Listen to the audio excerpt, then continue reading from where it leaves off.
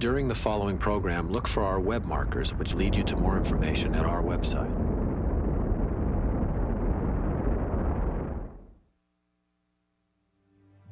Next, he was a decorated fighter pilot in two wars. America's first astronaut to orbit the Earth. Oh, that view is tremendous. A United States Senator. And now is about to become the oldest person ever to fly in space. Take a journey back in time Godspeed, John Glenn. and into the future. With John Glenn, American hero.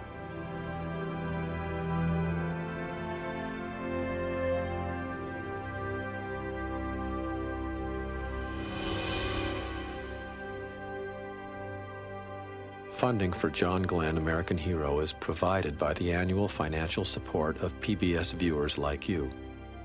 Major funding has been provided by the following corporation. I got to see a man walk on the moon. My kids deserve to see something as inspiring. NASA and its worldwide partners will soon launch the first stages of the International Space Station.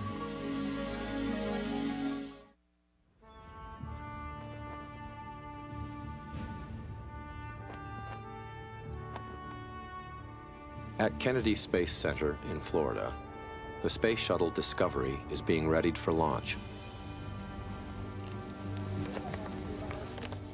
This mission, which NASA calls STS-95, is packed with scientific experiments. The international crew of seven includes astronauts from Japan and Spain. On two, one, two.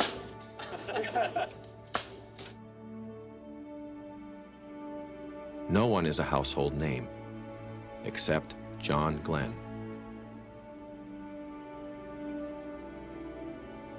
His presence has generated intense public interest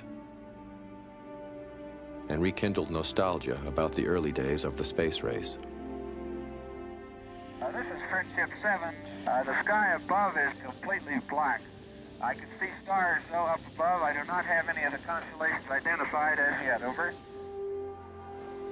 At the National Air and Space Museum in Washington, D.C., visitors are pausing longer to inspect Glenn's Mercury spacecraft, Friendship 7.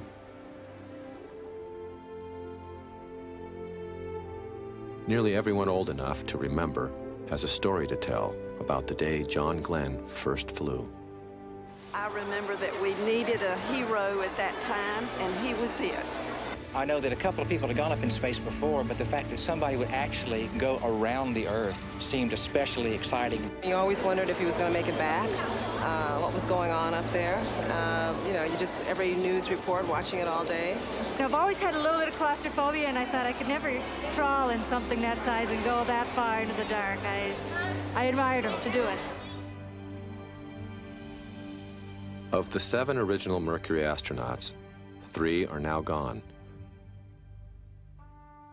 Gus Grissom lost his life in an Apollo launch pad fire in 1967. A brain tumor took Deke Slayton's life in 1993. Alan Shepard died of complications from leukemia in 1998. John Glenn was the oldest of the Mercury astronauts.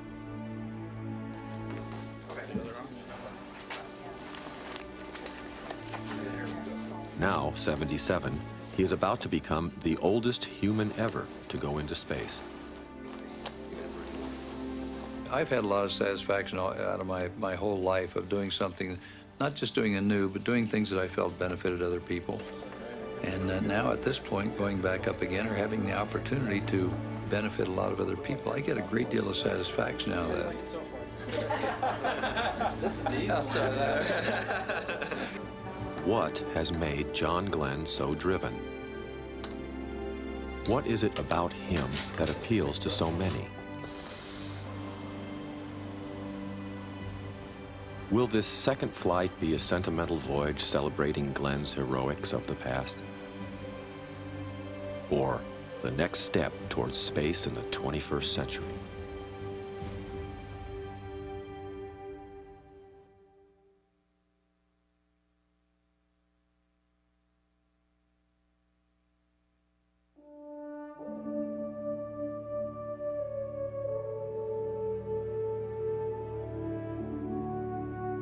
John Herschel Glenn, Jr.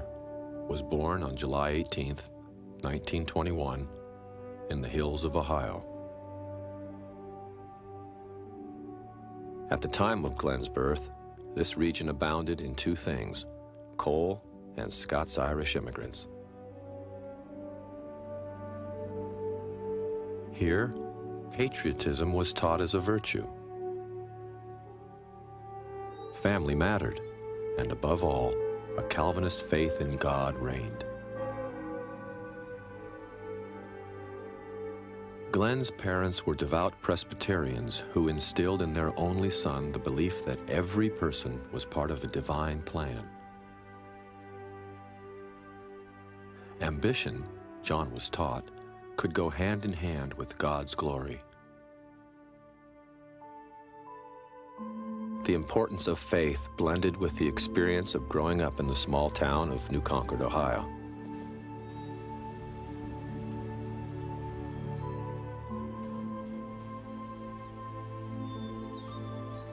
I guess it was the feeling of patriotism and of responsibility to the country that I picked up as a, as a kid in New Concord, and I guess that's been a, a rather guiding star in my whole life.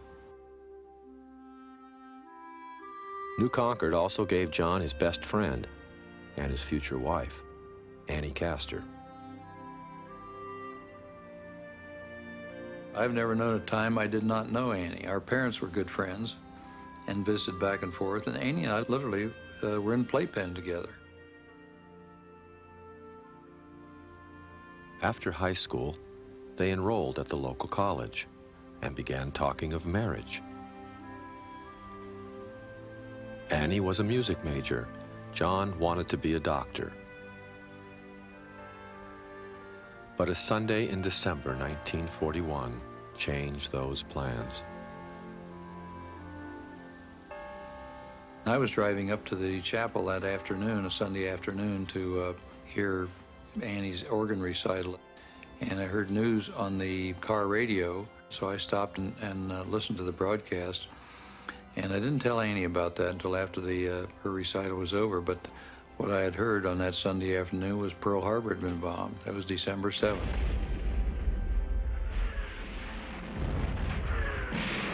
And uh, she and I had planned to be married after we were out of college, but uh, we sat and talked that evening and decided my responsibility was to go, and I dropped out of school.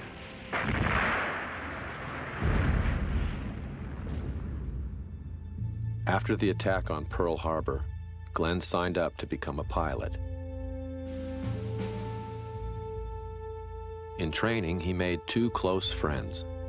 One was Monty Goodman from Pennsylvania. The other was a tall Texan named Tom Miller. They all excelled as pilots. We got singled out in the squadron because uh, we were so highly motivated to be the best in the squadron. John was what we considered a time hog. Uh, that terminology is used for a person who's uh, interested in flying at all costs. In other words, on his day off, he would go out and fly. Glenn now had two loves in his life, flying and Annie Castor. At the end of flight training, Glenn married his childhood sweetheart. A year later, Glenn, Goodman, and Miller flew their first combat mission over the Marshall Islands. On the very, very first flight we went on, uh, we were all dead set on making a good attack, of course, and it was a ground attack, came in on a uh, glide bombing run with the Corsairs, dropping bombs. And standard procedure was as you came in and made your bomb drop, then you pulled off the island and went out so many miles on a certain bearing, and then you started circling for a rendezvous of all planes And Monty didn't show up at the rendezvous. War making became very, very personal after that point. He came back from that mission and wept unashamedly. At the same time, Glenn said, uh, not only about Goodman's death, but about other deaths that he, of course, uh, encountered during his long military career, that after a while you don't get hardened to it, but you do realize that you can't change fate, and that it is your duty, if you want to remain sane, to move on. And ultimately, that's what Glenn did. Over the course of two wars, Glenn flew 149 combat missions and was highly decorated.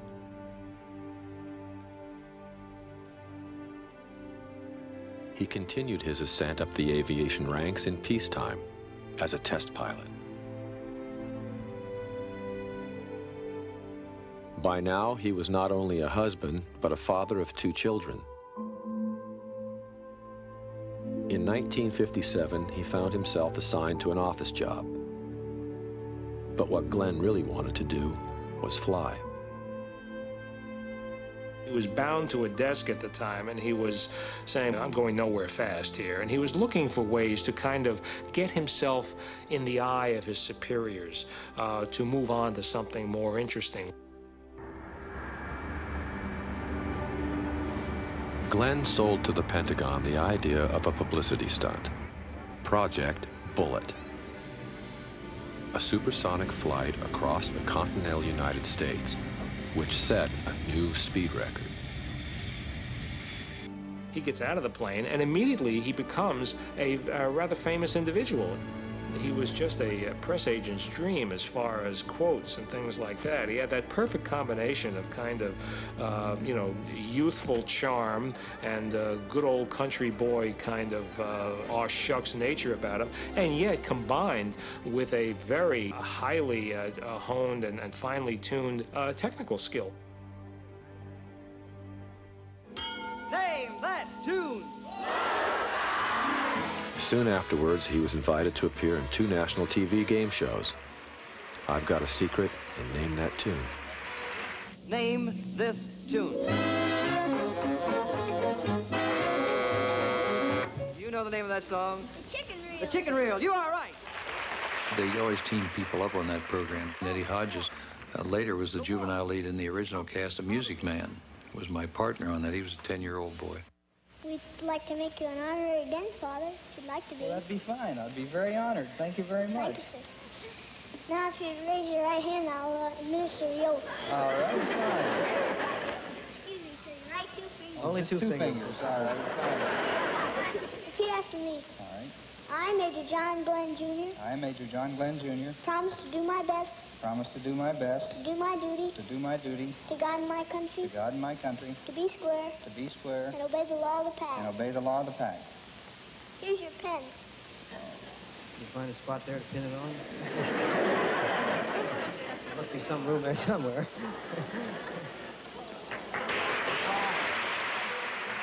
the year was 1957. The same year, Russia shocked the United States by launching into space a satellite called Sputnik. Uh, what do you think of the Russian satellite, which is circling the Earth at 18,000 miles per hour? Well, to say the least, George, they're out of this world, but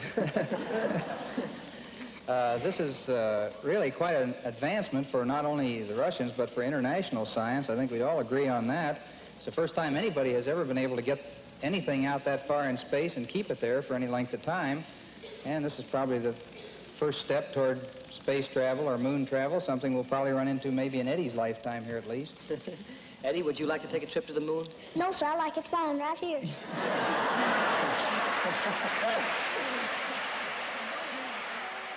the space race was on. Now the question was, who would be first to put a human in space?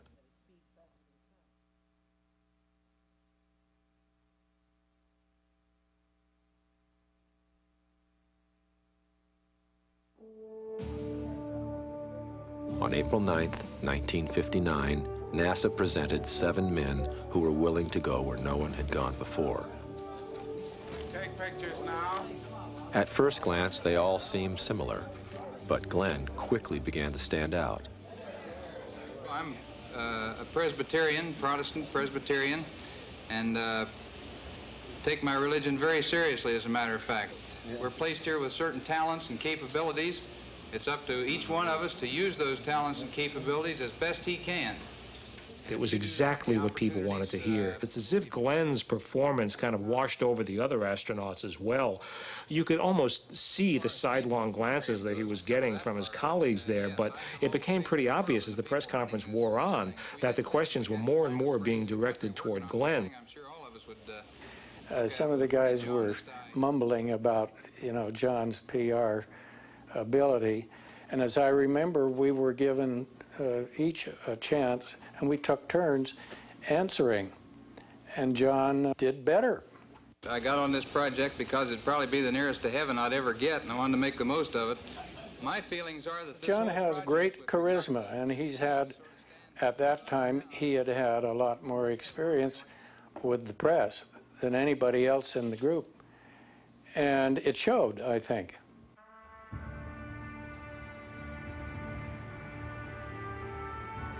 What all seven men shared in common was their test pilot background and their competitive drive.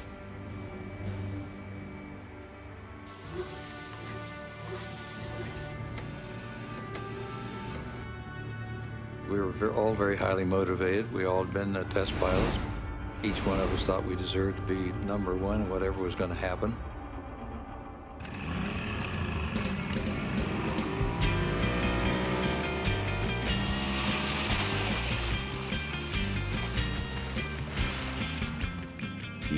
Recreation day spent water skiing was a chance to see who was the best.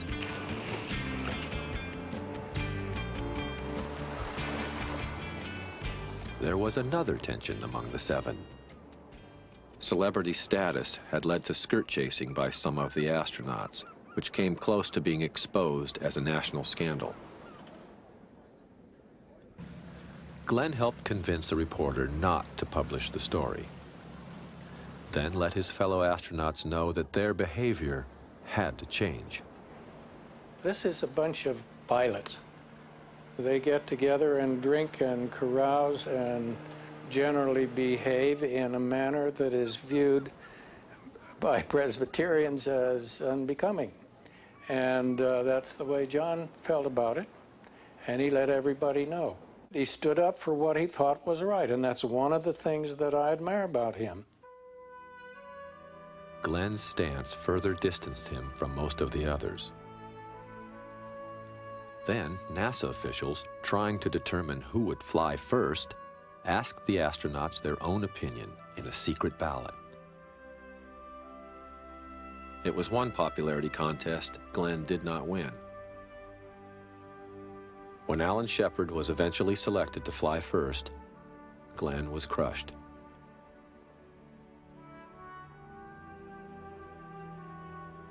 But Alan Shepard would have his own disappointment. On April 12, 1961, the Soviets launched Yuri Gagarin into orbit.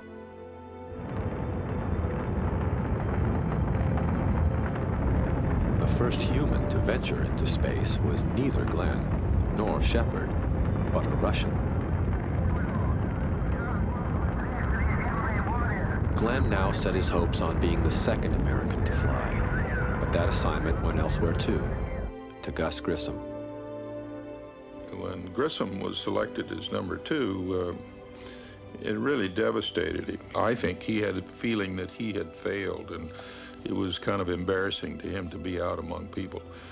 And uh, one day we had a little conversation out here in the yard, and I said some rather harsh words to him about uh, the fact that he was running his family into the ground by not taking him out, and just because he was hurt because he didn't get the first And I said to him at that time, I don't know what you're so upset about. To shoot the count, the flight that's going to count is the guy that goes around the world instead of just being pooped up and fall back. It was Glenn's good fortune to be chosen for America's first attempt to orbit the Earth. This was a longer and far more dangerous mission. And Glenn would be riding a more powerful rocket, the Atlas, an intercontinental missile originally designed to carry a nuclear warhead. It was a rocket with a history of spectacular problems.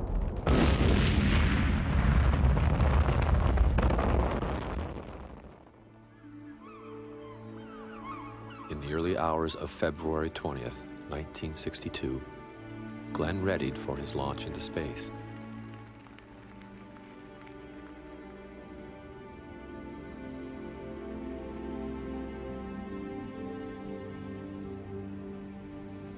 Although the flight had been scrubbed 10 times before, people still lined the beaches. Millions more were watching at home on their television sets. Right before his space flight, uh, he had a very frank discussion with his family about the prospect that he might die. And he was very concerned that his children not blame anybody, not blame God if he were to die. The idea was that he was doing what he loved. He was doing something important for them, for their country. And he really felt that if that were to happen, it is the hand of fate. Nothing could be done about that. Mercury capsule, go. All pre-start panel lights are correct. The ready light is on. Eject Mercury umbilical. Oily Roger, scope is retracting. Range operation. Go, clear to launch. The light is out. 18 seconds. All Roger, we show Start at 18 Balance seconds TM. and Let's go counting quick. it. Godspeed, John Glenn. 10, 9, 8, 7, 6, 5, 4, 3, Ignition. 3,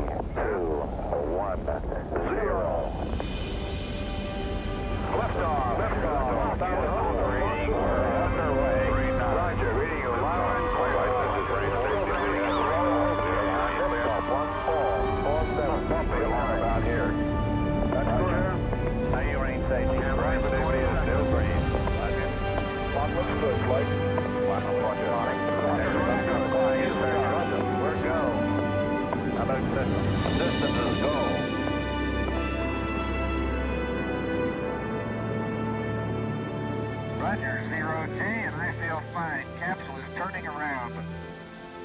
Oh, that view is tremendous.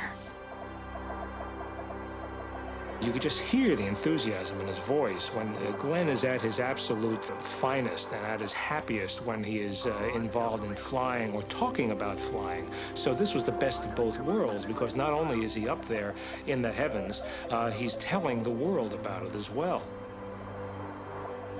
Uh, the sunset was beautiful. It went down very rapidly. I still have a brilliant blue band uh, clear across the horizon, almost covering my whole window. But Glenn soon had no time to sightsee. Near the end of the first orbit, one of Friendship 7's automatic thrusters began malfunctioning. Then a second one failed. Next, his gyroscope went out. And on the ground, mission controllers had an even bigger worry. We are recommending that you leave the retro package on to the entire re-entry. Do you read? Uh, this is Friendship 7. Now, what is the reason for this? Do you have any reason over? Not at this time. This is the A signal from the spacecraft was warning that Friendship 7's heat shield might be loose. If that were true, Glenn had no way of surviving re-entry. He and his spacecraft would burn up in the atmosphere. As Friendship 7 began re-entry, flames enveloped the spacecraft. Glenn heard metallic scraping sounds, and then ominous thumps. Next, large burning chunks of what Glenn feared was his heat shield began flying past his window. This is Friendship 7, a real fireball outside. But gradually, the fire outside subsided. The heat shield had held. Roger, steelhead. Uh, Friendship 7, the chute looks very good. Over. It was almost like it was designed by Hollywood. It wasn't, but all the suspense you ever could have, and then they had some problems in flight, and will he make it, won't he make it? Well, it was just so dramatic.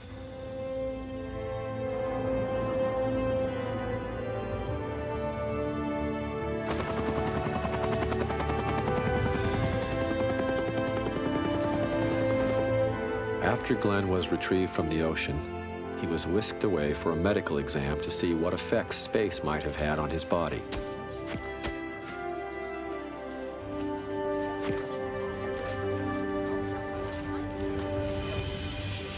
Three days later, Air Force One landed at Cape Canaveral. President Kennedy had come to pay homage on behalf of a grateful nation.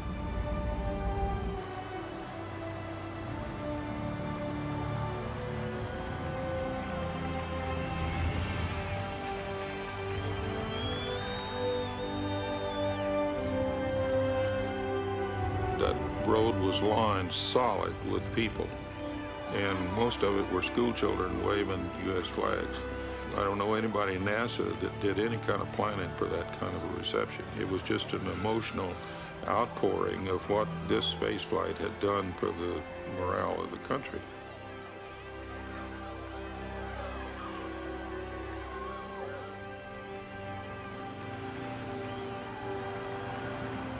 The celebrations which included a giant Friendship 7 cake, were just the beginning. Glenn and his family flew back with the president to a rainy Washington.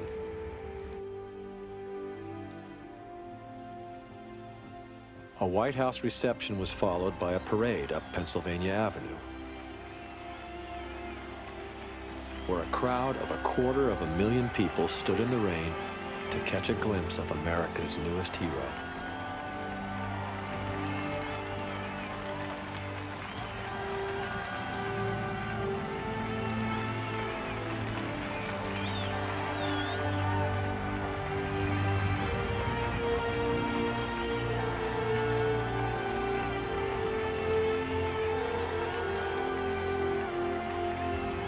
We could hardly believe uh, when we came back, you know, the uh, excitement and both here in Washington and ticker tape parade in New York.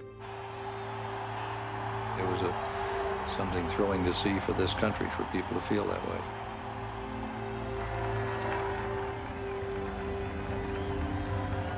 Two days later, the scene was repeated in Glenn's hometown of New Concord, where the normal population of 2,300 swelled to 75,000.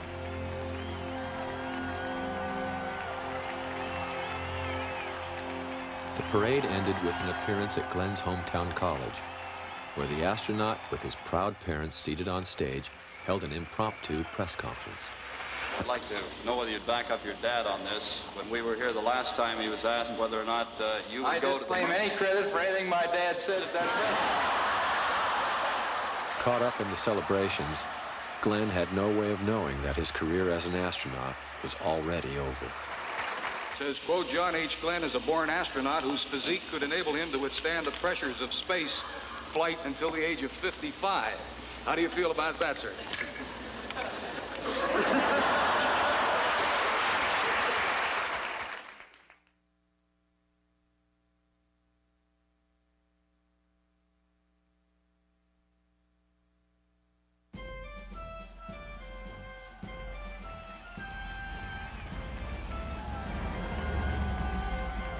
President Kennedy understood that John Glenn's enormous popularity could be turned to political advantage. But how?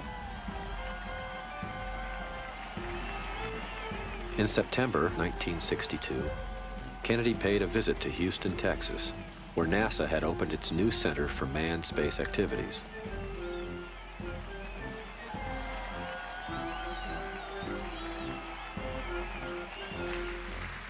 The Mercury astronauts were already in Houston by the time of Kennedy's trip.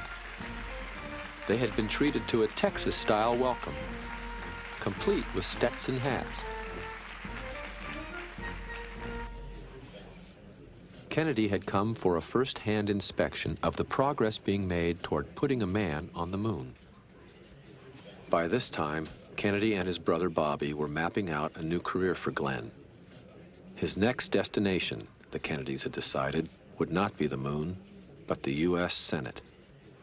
Glenn figured that, well, the, the skids are greased. You know, basically, as far as he was concerned, here's a win-win proposition. I'm a hero astronaut. Well, I'm not going to go up in space again. I do and have always had an ambition for further public service, and politics certainly is part of that. And if I'm traveling on the dime of the uh, president and his attorney general brother, what could be bad? Well, of course, we all know what happened. That in 1963, the president was assassinated, and suddenly all political bets were off.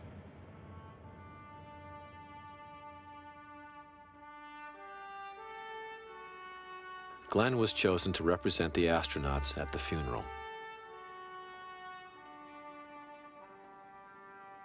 There was a line went clear out across the East Plaza here, and Annie and I were there, and uh, we came up, and his body was lying in state in the rotunda, and it was a very moving experience. Distraught over Kennedy's death, he sought comfort the night before the burial at a memorial to another fallen president. The Lincoln Memorial at night, if you haven't been there, is almost like going to church, I think. It's almost a religious experience.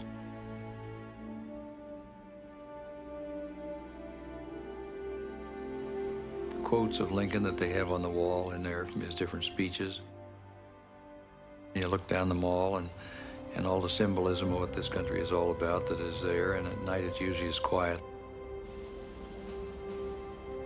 I sat back sort of and thought about this and thought about my responsibilities to the country and what I could do. The purpose of this meeting then is to declare myself a candidate for the Democratic nomination for United States Senator from the state of Ohio. But Glenn's run for office was short-lived. Only five weeks into the campaign, Glenn slipped and fell in a freak accident. He was diagnosed as suffering from traumatic vertigo. Immediately, Glenn found that uh, when he was in the hospital that he could barely even breathe without becoming incredibly nauseous. Never mind move his head. Uh, and uh, the doctors said to him, there's very little we can do except wait to see whether or not this gets better. We should tell you that in 25 to 30 percent of the cases, there is residual permanent damage. Unable to walk, let alone campaign, Glenn, from his hospital bed, withdrew from the race. I've delayed this decision as long as possible. In fact, too long for many of the people that have worked on it, in the hopes that my recovery might accelerate. But this has not happened.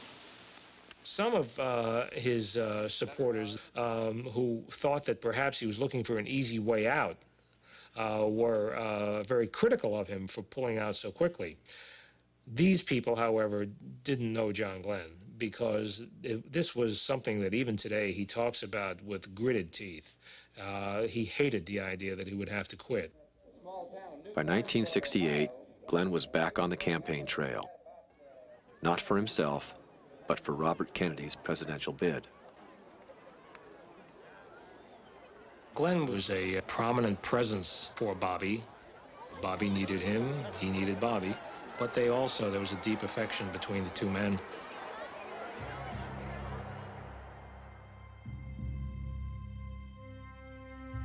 Glenn was with Bobby Kennedy when he died, and it fell to John Glenn to inform the Kennedy children that their father was dead. It is something that you wouldn't wish on anybody else, and yet if you had to have somebody do it, Glenn is probably one of the few people who could handle it with the kind of sensitivity that would be required.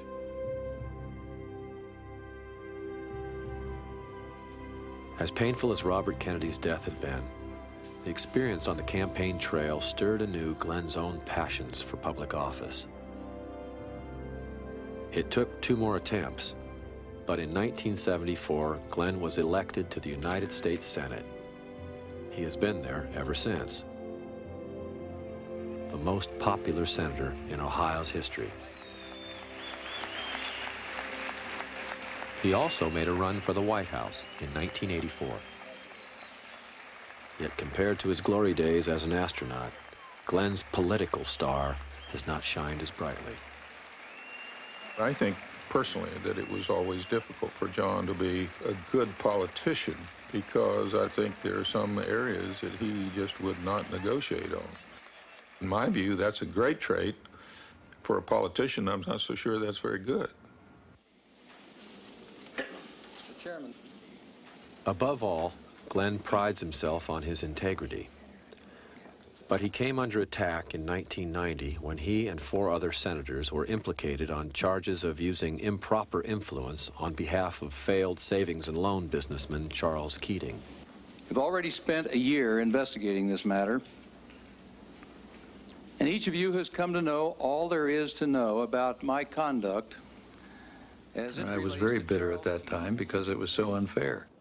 It was a very expensive thing for the lawyers' bills and everything. Was the low point, I guess, in my life because my ethics and my morality and my uh, what I thought was right and wrong were being challenged.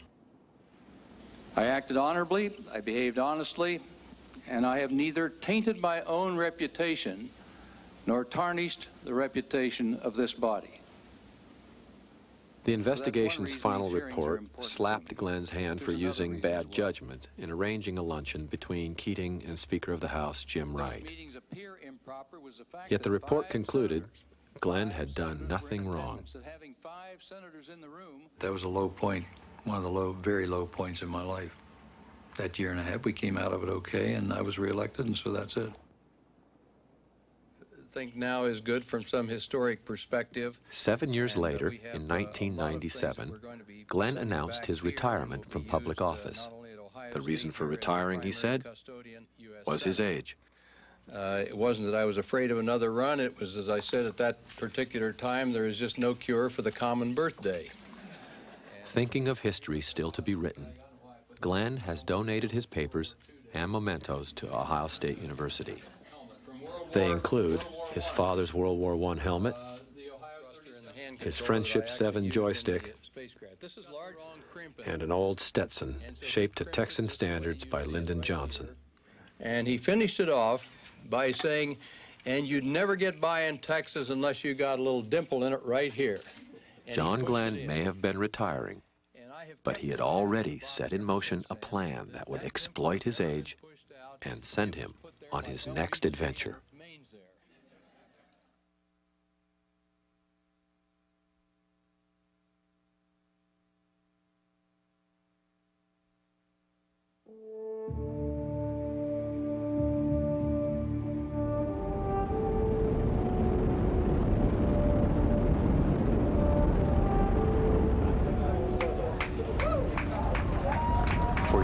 Glenn has watched the shuttle program from a distance and dreamt of flying again.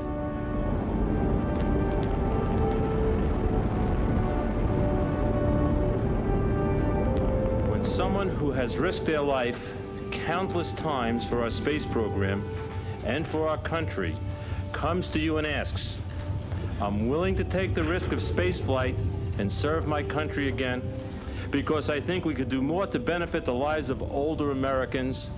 Can I go? If that person proves that they have unique blend of experience, expertise, and excellent health, the answer is certainly yes. And therefore, But saying yes had not come easy. NASA Administrator Dan Goldin had agonized over the decision for a year and a half. I was really concerned because it was an incredibly bold proposal. And I was concerned, would we have a health problem? And there were all these issues, and I knew Tom Millard, and I called him and I said, my God, can we really do it? How do I get him off this kick? One Sunday, I received a call from Mr. Dan Goldin, and he said, uh, I need some help with that uh, friend of yours. He's the most persistent guy I've ever known, and he's driving me out of my mind. He wants to go back in space again, and um, my heart says yes, but my mind says no. And that's when I told him, uh, he said, uh, you know, you're fighting an uphill battle because uh, he's going to be a pressure that I'm not sure I can help you with. Glenn wanted a justifiable reason for a second flight, and medical research has been his ticket. There are a lot of things happen to the younger astronauts up there when they're in space now. There are 50-some things that the NASA has charted so far, changes in the human body or the blood and so on, uh, that occur when you're up there in space. If I bring back good information in the limited areas that we're going to be looking into on this flight, in the muscle changes and sleep changes, things like that, then it's a start toward encouraging NASA and the scientists to look into these areas more. Many in the science community are skeptical of the validity of the research, yet at the same time supportive of Glenn taking a victory lap. John Glenn has talked an awful lot about the medical benefits of his mission, and I think it's difficult for the scientific community to place much credence in that. But I think it also says a lot about John Glenn's modesty and his greatness as an American, that he's not going to claim what's basically his. He's a hero and he could fly on there simply by saying, hey, it's John Glenn, I want to go. It's particularly significant that you have John Glenn, America's first person to orbit the Earth, flying on basically what's going to be the last mission that we fly before we start building the International Space Station. So John Glenn's flights are really sort of the bookends on an era of American space exploration because when John Glenn comes back from his second flight, we're going to start working on an International Space Station, which is going to be the effort of much of the human race rather than simply of the United States.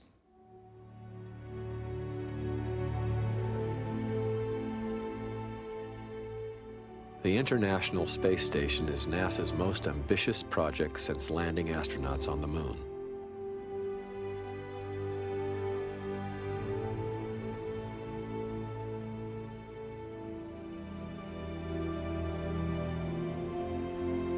The station, a multinational venture for scientific research in space, comes with a price tag estimated between 20 and 25 billion dollars. John Glenn has been one of its most vocal advocates.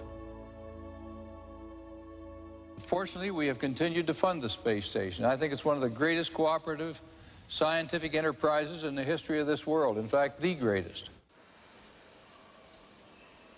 The space station represents a major rethink for U.S. space policy. Instead of the Cold War competition of John Glenn's Mercury days, the space station requires international cooperation. America's one-time adversary is now being treated as an ally. Russian hardware, Russian rockets, and Russian cosmonauts are all required to put the space station in orbit. It's unbelievable the time we live in. We have Americans riding on Russian rockets. Russians riding on American rockets, American flags on Russian rockets. It's uh, up is down and down is up and left is right and right is left. Who knows? It is wonderful. The confusion is wonderful. But Russia's internal problems have delayed delivery of some key components. Just one indication of the complexity of managing such a huge international effort. The complexity of this project is enormous. It'll take 45 flights to build. We're talking about launches from four different sites around the world. Integrating these nations together has never been done. It's a, a huge systems management problem, and it's not going to be pretty. We'll have problems. I, I, I have no doubt about that. There'll be seven different vehicle types coming up to the space station, docking, and exchanging goods and people. It'll be a million pounds in Earth orbit, bigger than a football field. You'll be able to see it flying overhead with the naked eye. NASA sees the space station as its next logical step. But a step to where? This is really a big engineering experiment to discover how you can build these large, complex structures in space, and also how do you organize an international team to do that, because ultimately people want to go to Mars, and they're assuming that Mars is such a large-scale enterprise that that will also involve a lot of countries. So the space station is viewed by some people as sort of like, you know, a stepping stone for building the international relationships that you need in order to mount an even greater expedition.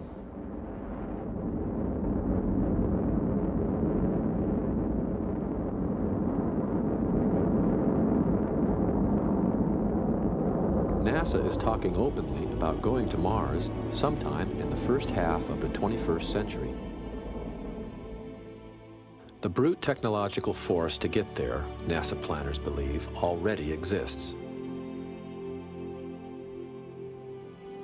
This NASA animation shows one Mars expedition now under study.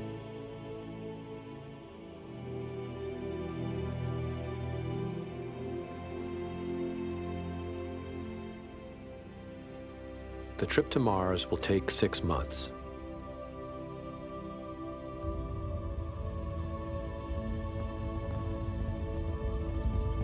And this will be no quick visit. These planetary explorers will live on Mars some 500 days. Of course, we've already been to Mars and to other planets in the solar system with remote control robots. The highly publicized Mars Pathfinder mission of 1997 was only the most recent probe to land on the Red Planet.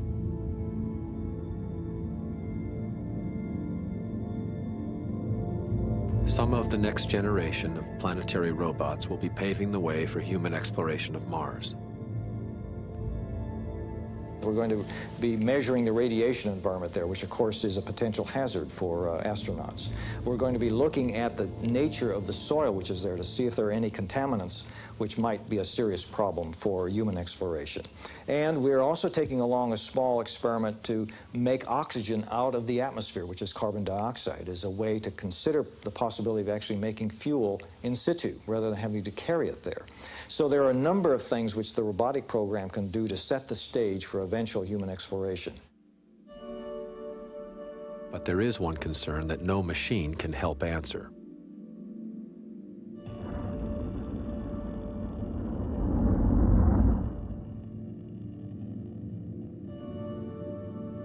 How will humans react to the psychological and physical stresses of a thousand-day mission?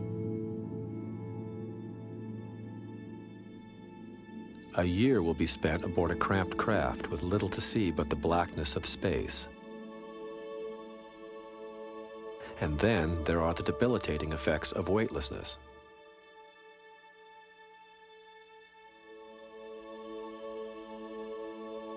After only a few days in space, astronauts begin losing muscle tissue and calcium in their bones. The immune system deteriorates, and the circulatory system weakens. It's as if space accelerates aging in the human body. These conditions call for exactly the kind of tests NASA plans to study on John Glenn's 77-year-old body. From a very practical standpoint, the Glenn flight is trying to find out what the effects of weightlessness are on older people so that you can have a better understanding generally of the effect of spaceflight on human beings. So there is a connection between what he's doing and the long-term vision that people have for the space program. Glenn knows what it means to be a guinea pig. Studying the effects of space on the human body was a large part of his Mercury flight.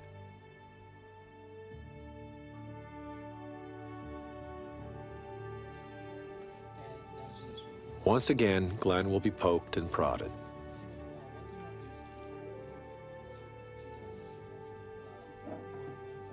Besides medical experiments, Glenn will also be assigned mundane chores like collecting blood and urine samples from other crew members. One indication that flying on the shuttle is not always as glamorous as it seems.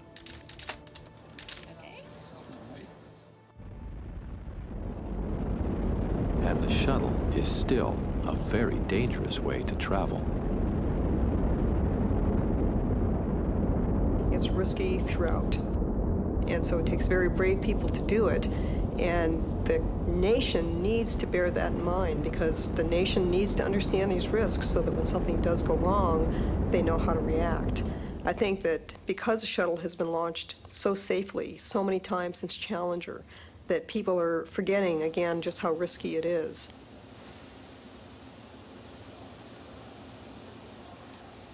There are few realistic options for escaping from a crippled shuttle.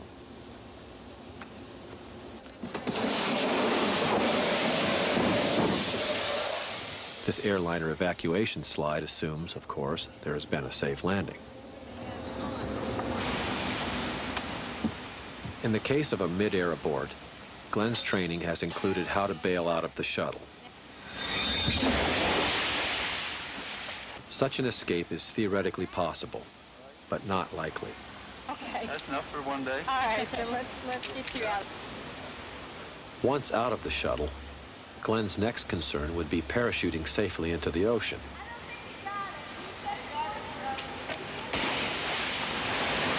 Oh, Steve relieved you? and then staying afloat.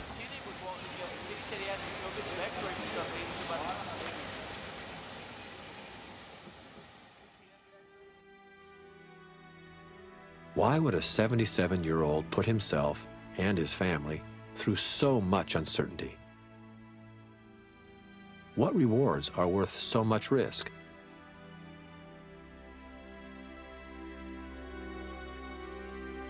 Is he trying to determine the last chapter of future biographies? Glenn refuses to speculate. But pry deep enough, and Glenn will share that his Mercury flight did not fully satisfy his need to know what the experience of space is like.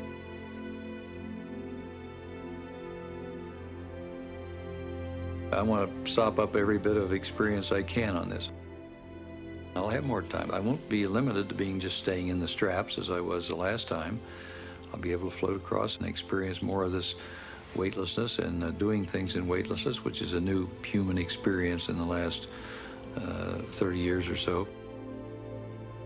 Being able to look out the window and watch things uh, go past on occasion. Uh, it's going to be a great experience, so I'm really looking forward to it. Want to bring back some good information that can benefit an awful lot of folks sometime in the future.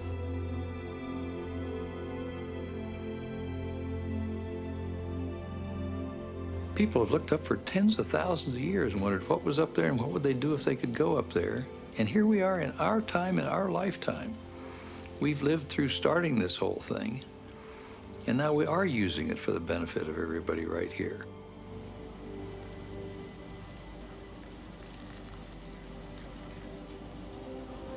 There are other reasons why Glenn is flying.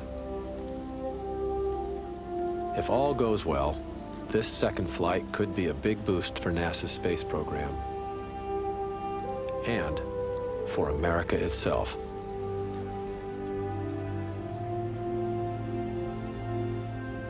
John Glenn deserves a second flight. America needs heroes. I don't know of a person I've talked to who hasn't felt good about this. He started it. Why can't he go back? But it's to prove whether the older people like us is going to be able to go if we so choose. kind of shows the younger people that they can they don't have to quit after there's a certain age. I think he's a hero, and I give his wife much credit for letting him go.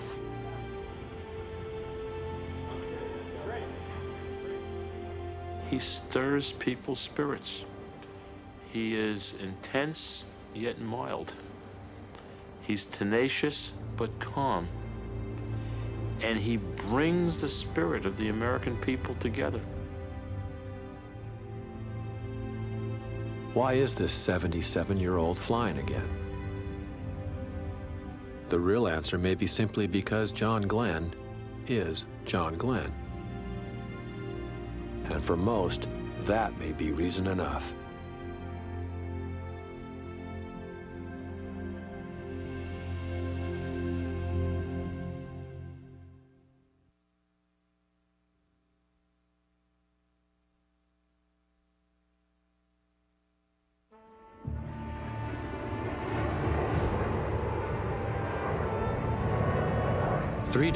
Before the scheduled launch, the STS-95 crew fly to Kennedy Space Center in Cape Canaveral, Florida.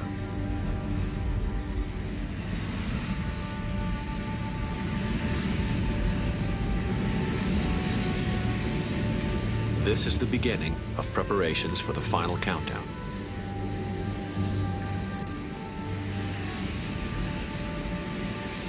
Glenn still flies prop planes at 77, but not jets. So on this flight, he takes a back seat to Commander Curt Brown. But all eyes and cameras are focused on Glenn. NASA knew that Glenn's presence would generate public attention, but no one anticipated this reaction. At the last launch, less than 100 journalists were on hand. This time, nearly 4,000 members of the media have signed up. Not all of the reporting is positive. There is speculation about political paybacks. Others criticize the mission as a public relations stunt. Howdy, how you doing? How are you? I just get a hug. Welcome back. The science experiments involving Glenn continue to be questioned, especially after he is scrubbed from one of the principal sleep experiments. The concerns are not limited to the press. Glenn's wife and children initially had their own misgivings. John had announced one year before that he was going to retire as a senator. So I was looking forward to having him as my own because I had given him to my, our government for 55 years, so I was ready. Dave and I have both grown up with Dad's um, choices of jobs that he, in our whole lives, we've had death as kind of a, a, something to deal with. So I think that's been there, and I kind of had the response of, I've been there. I don't, I don't want to do that anymore. I felt angry. I just didn't. I didn't want him to go. I didn't want any of us to go through worrying about about uh, what might happen if anything went wrong. What I was thinking about was just this replay of the Challenger.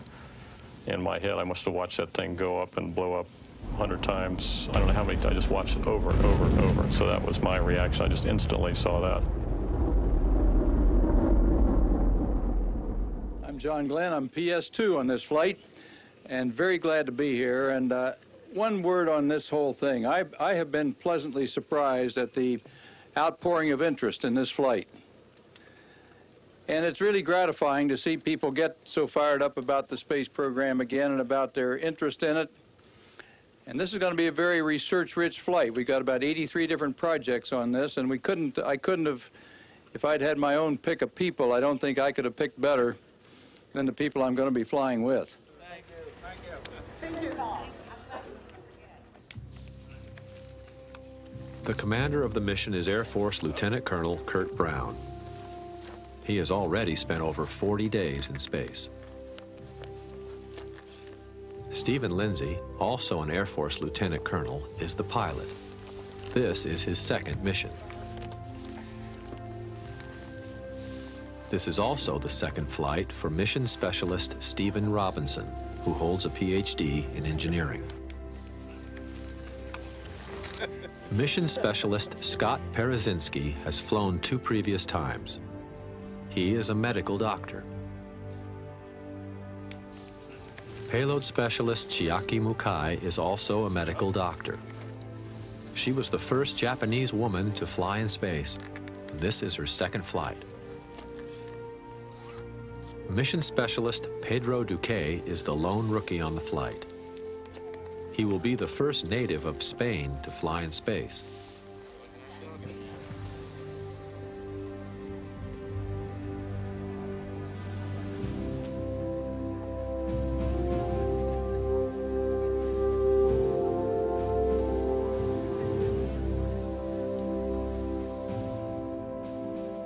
Just as crew compositions have changed, so have the rockets and spacecraft.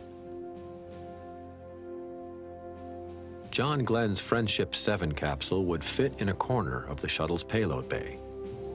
And the Atlas rocket Glenn rode atop is dwarfed by the shuttle's size and power.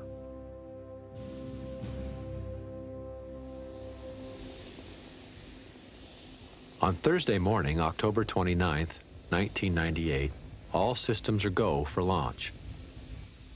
Worry over a hurricane in the Caribbean has vanished, and the sky is completely clear. This is Shuttle Launch Control. All continuing to go well in our launch countdown this morning for Discovery on mission STS-95. Countdown clock at T-minus two hours. This is to be Discovery's 25th flight into space. The power to propel Discovery into orbit comes from its massive engines. The main engines put out 400,000 pounds of thrust.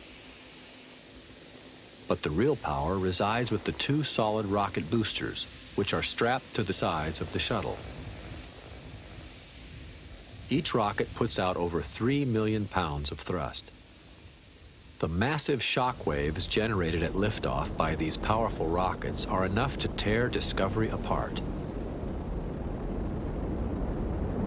To keep the shuttle intact, some 300,000 pounds of water are dropped into the cavity underneath the pad to absorb the shock waves.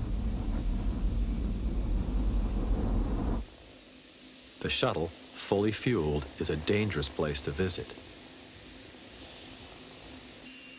Spectators are kept at least three and a half miles away from the launch pad. The safe distance NASA estimates is needed in the event of a near-to-ground explosion. Into the SRO on 212.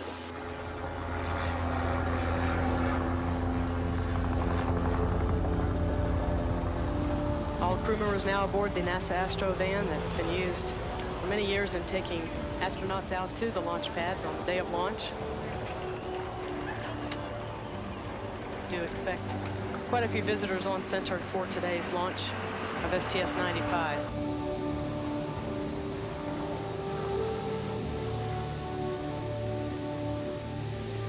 By now, the shuttle pad has been cleared of all but a skeleton crew of workers.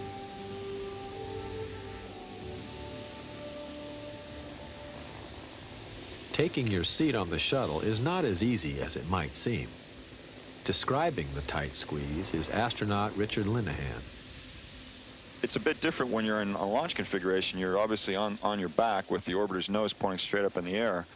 The uh, floor uh, becomes the wall, and the wall becomes the ceiling, and vice versa. And so you have to learn how to crawl in, in what handholds you can use, and where you can put your knees and feet and hands, so you're not touching switches or important things like that, but yet also be able to move around and position yourself to get up into the seat.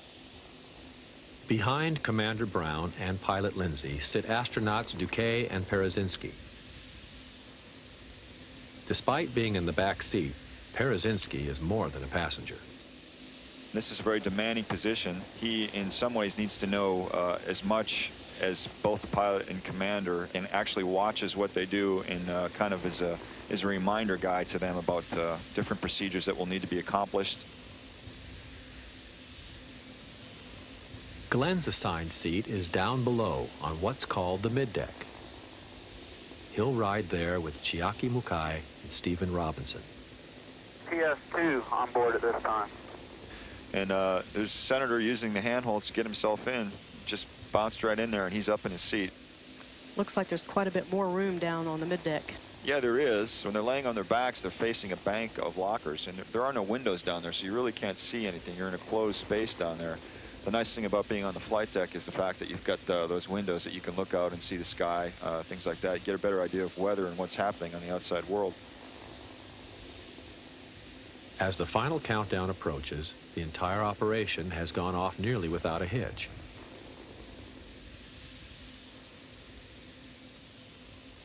John, air to ground two, uh, flight crew, how do you read?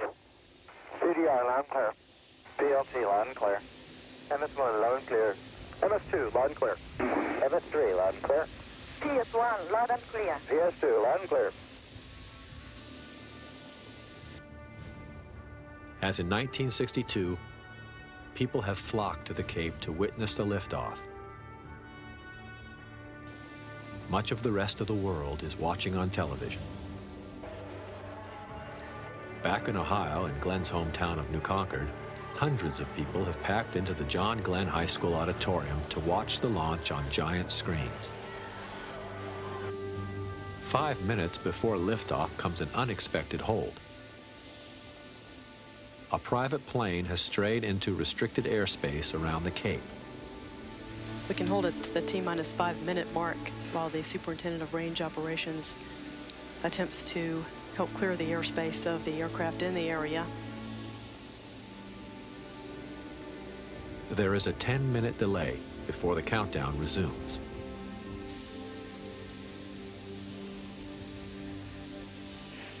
The orbital flight control systems are being moved through their pre-programmed pattern and they will be verified they are ready for launch. TLC is go for launch.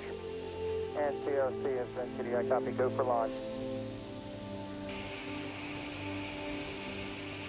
The three main engines are being gimbaled and positioned for launch. All systems are go for launch at this time, just a few minutes away from the 25th voyage of Discovery with a crew of seven.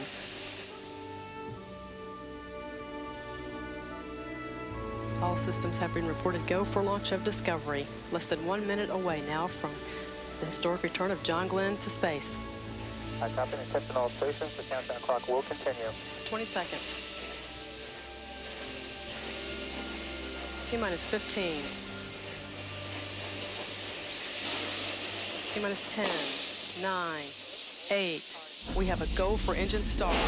5, 4, 3, 2, 1. Booster ignition and liftoff of Discovery with a crew of six astronaut heroes and one American legend.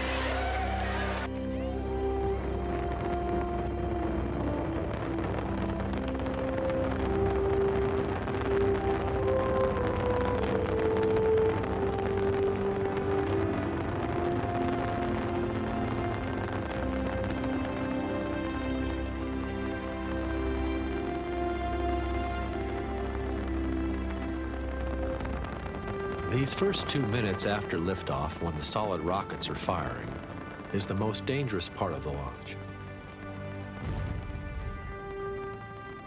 A camera attached to the side of one of the solid rockets captures the separation.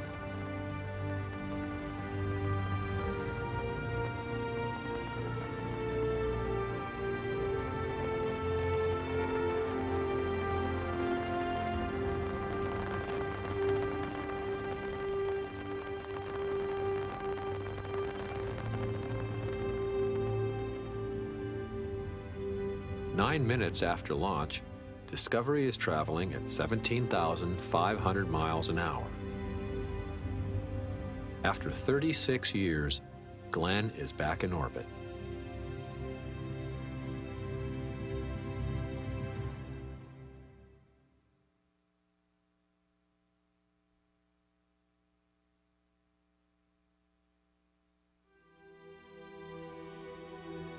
Discovery is 347 miles above the Earth, twice the altitude of Glenn's Mercury flight. Glenn wastes no time commenting on the view. Hello, Houston. This is PS2, and they let me get sprung out of the middeck for a little while. We're just going by Hawaii, and that is absolutely gorgeous. Do a trite old statement, zero G, and I feel fine. Hey, Roger that. We had a bunch of your friends asking about you today, and they were wondering how you're feeling, and I'm sure they're he- glad to hear that. And Beamer, let the record show that uh, that John has a smile on his face, and it goes from one ear to the other one, and we haven't been able to remove it yet.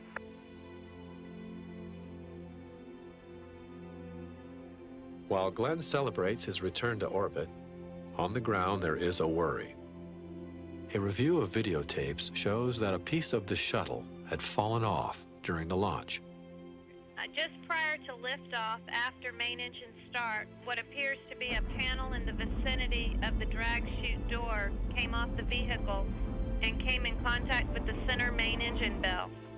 We are evaluating at this time. We do not expect this to impact your, your mission. The 11-pound aluminum panel covers the shuttle's drag parachute, which is used to slow the shuttle during landing. The panel had fallen harmlessly onto the pad. NASA had been lucky. Had the metal panel punctured a part of the main engine's nozzle, there could have been a catastrophic explosion right on the launch pad. But what everyone wants to know is how John Glenn is adjusting to space. There's been a track record in the past of a, high percentage of the people getting sick, but fortunately the crew has felt fine up here this time, and we've been doing real well. Uh, I had my own concerns about that because when I went up before, it was uh, I was strapped to the spacecraft, and so I didn't really get this free-floating feeling uh, like you have here. Despite the attention given to Glenn, the real work of the crew is carrying out 83 scientific experiments. One of the most important is a 3,000-pound satellite called Spartan. Discovery Houston, we've pulled the room and you are go for deploy. Using the shuttle's robotic arm, Spartan is released to fly free in orbit for two days before being retrieved. During that time, Spartan's instruments will measure the sun's corona and solar wind.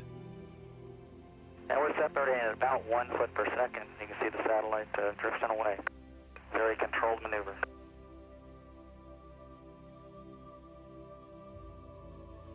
This satellite is called PanSat. It was built by postgraduate naval students, a kind of on-the-job training in how to build a communications satellite.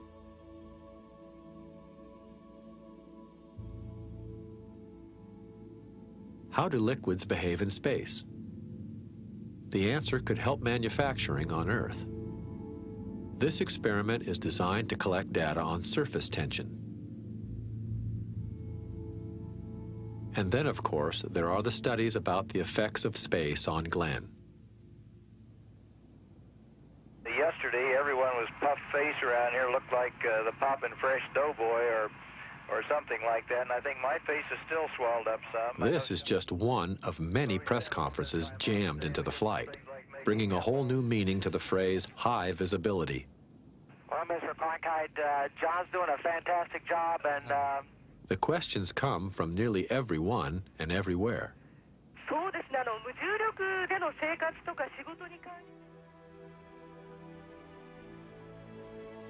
High school students raised on space movies get a chance to compare science fiction with science fact. Commander Brown, when blasting off, do you actually feel the inertia in the space shuttle?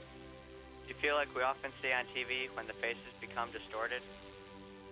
Well, first of all, we uh, we astronauts we like we don't really refer to it as blasting off because that sounds pretty uncontrollable. Uh, during the launch, we call it launching, but during the launch, uh, you don't really have the uh, distortion on your faces. Uh, that's uh, more for the movies, I think. Uh, but we do feel the acceleration of the orbiter. It uh, is very uh, amazing vehicle. We uh, jump off the launch pad and accelerate right up to two and a half Gs, which means you would weigh two and a half times of what you would weigh here on Earth. So we, we do feel the G's or the, the acceleration, but uh, it doesn't really distort our face or anything. There are space chats with comic Jay Leno, Hey, Jay, we have you loud and clear from Discovery. How do you hear us? veteran newsman Walter Cronkite, and Glenn's fellow Mercury astronaut, Scott Carpenter. Scott, I think in our next next uh, job, we ought to come up here and have a retirement home in space because you know you spill food, it doesn't go on your necktie, it just floats out away from you. And in fact, I got some oatmeal on my glasses the other day. And uh, you don't need a walker up here. You don't need to worry about osteoporosis or canes or anything like that because you just float across the room. There's no such thing as broken hips or anything like that. And uh, so, it, and if you know, if you have trouble sleeping at night, why, it's uh, no problem because you have another night coming up in not more than 45 minutes. So maybe this is a place we could start a retirement home someday. Even NASA's administrator, Dan Goldin, takes a turn at the mic. Well, before I ask you a few questions, I have a few messages. First from Annie, ain't going up again. Secondly, you caused trouble with my mother. Last night, my 86-year-old mother called me up, and she wanted to know when she was going into space. And if you think you're tenacious, I don't know how I'm going to tell her no. There are media moments made out of every opportunity. This is Mission Control Houston, and from onboard Discovery during her off-duty time, a very energetic Chiaki Mukai has uh, just begun her exercise period a bit ahead of schedule. She's uh, joined by pilot Steve Lindsey, demonstrating physics in microgravity as a fluid drop can be floated and actually eaten off of a spoon. Halloween falls on the third day of the mission, and the entire crew celebrates, masquerading as John Glenn.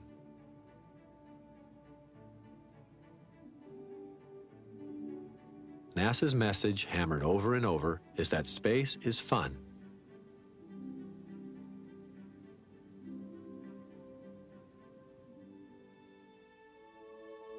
But there is also time for deeper reflection.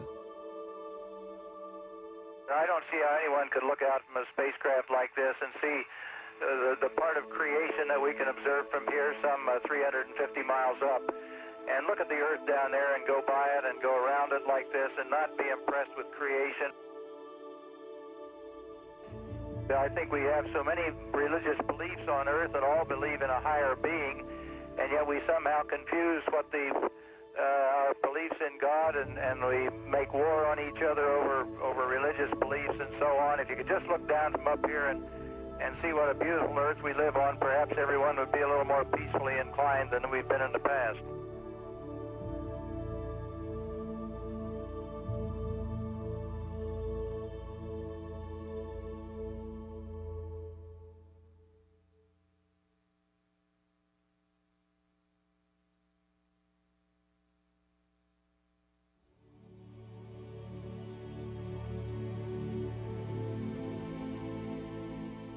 Morning, Discovery. On Saturday, November 7th, after nine days in space, Discovery prepares for the return to Earth.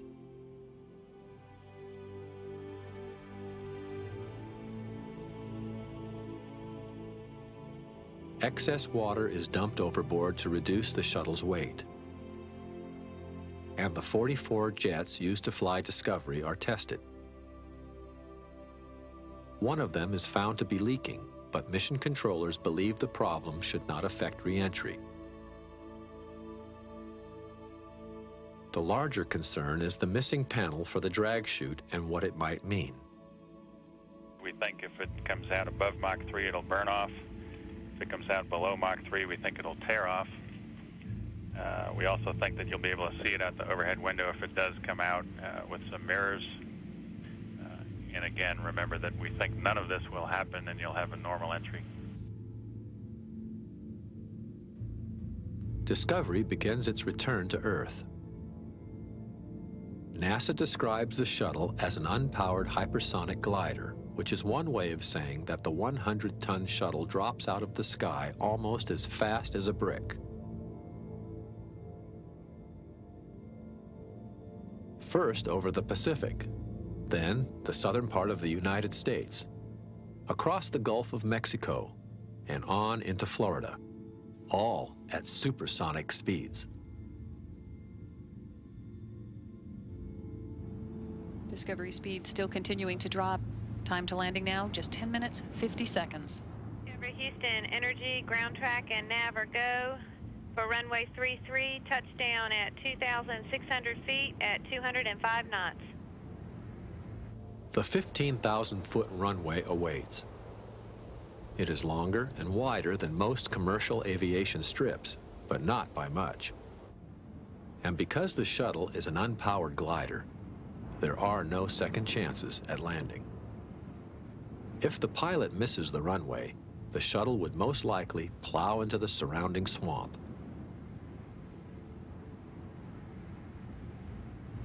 Three minutes, 10 seconds away from touchdown. Discovery now 68 miles away from the landing facility, traveling at the speed of 600 miles per hour. Commander Curt Brown at the controls as Discovery continues to track toward a landing.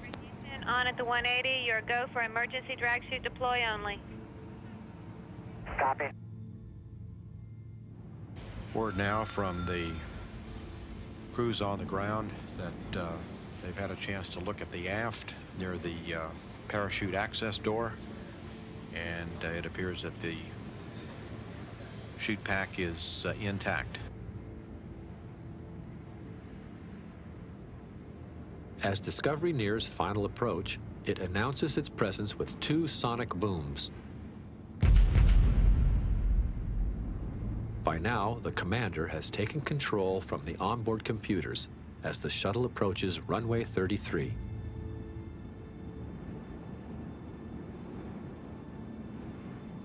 Discovery now at an altitude of just three miles away from the Kennedy Space Center at a distance of about 10 miles. Time to touchdown, one minute, 45 seconds.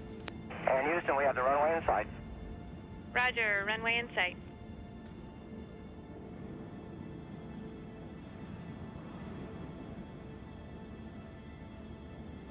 As Curt Brown is now piloting the, the shuttle down the glide slope and uh, in center line of the runway, Steve Lindsey, the pilot, is, is focused primarily on the, the landing gear extend switches, where he will arm them at uh, 2,000 feet and lower the landing gear at 300 feet.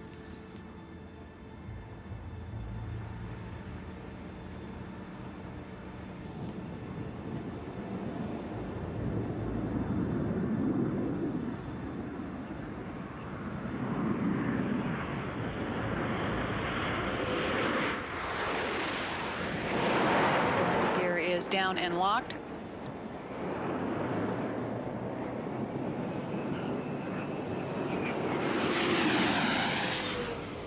Main gear touchdown.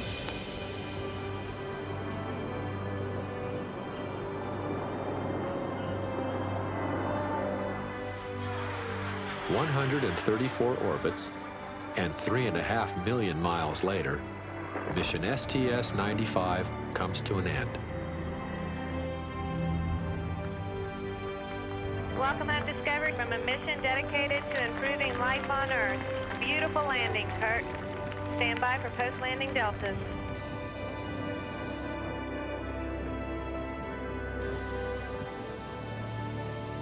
The question now on everyone's mind is what will be the effects of nine days of weightlessness on Glenn's body?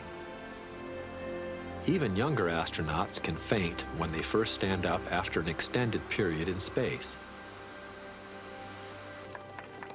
There had been speculation that Glenn would have to be carried off on a stretcher. He is wobbly and unsure, but he walks under his own power, joining in the traditional ground inspection of the shuttle.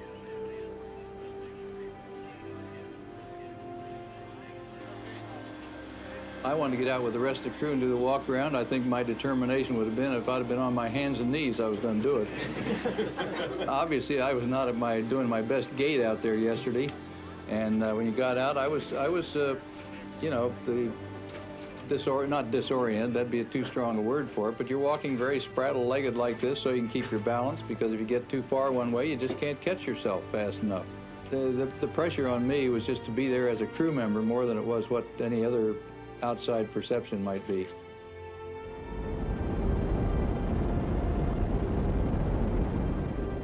What did it mean, this 77-year-old man flying again in the heavens?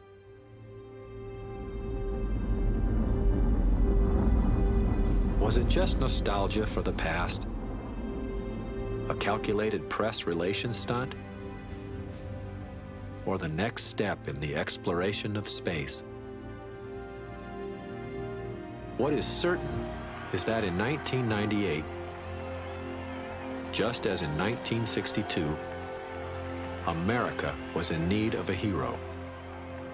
And John Glenn was there.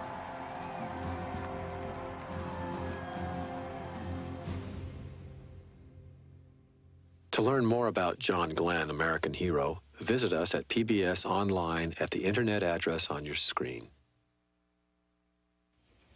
Annie and I attended a dinner back home in Ohio not too long ago in, in which the person introducing me got all carried away with accolades and accomplishments I never dreamed of having in this life or the next. And finished this introduction by finally saying, There are few truly great men in this world. And then he introduced me. Now that's rather heady. And going home that night, I guess I was still thinking about it and mentally basking in the glow of that introduction. And I said, uh, Annie, you know, if you think about it, there aren't very many really, truly great Americans in this world. And it took her about 10 seconds to say, let me tell you something, there's sure one less than you think there is.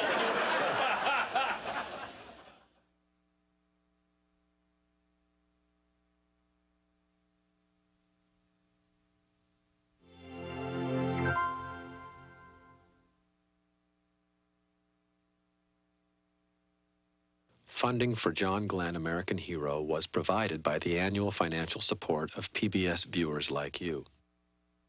Major funding has been provided by the following corporation. I got to see a man walk on the moon. My kids deserve to see something as inspiring. NASA and its worldwide partners will soon launch the first stages of the International Space Station.